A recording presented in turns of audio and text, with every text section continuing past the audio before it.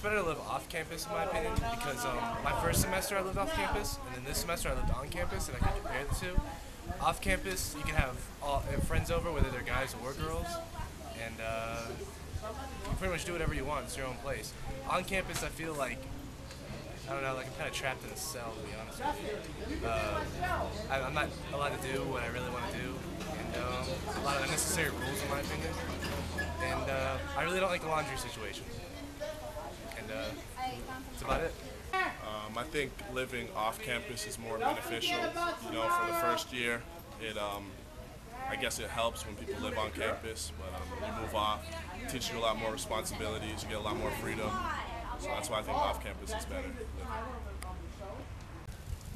I think it's better to live on campus because it's much easier to get to classes when you're right next to your classes, especially from Ponce. And even FEC, it's guaranteed housing and it's right down the road. I'd probably say it's better to live on campus just because of convenience. Yeah, and the prices like to live off campus here are really expensive. You either have to lease like a house or rent like an extremely expensive apartment. I think it's better to live off campus, honestly.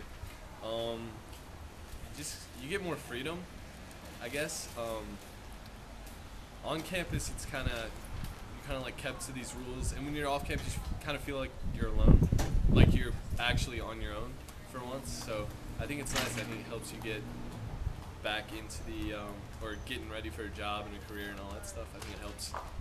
So yeah. Um, I think it's better to live off campus because you don't have to be part of a meal plan, and I think that's um, it's a lot of money. And if you don't eat dine whole food, if you don't like it, then you're kind of screwed. So um, yeah.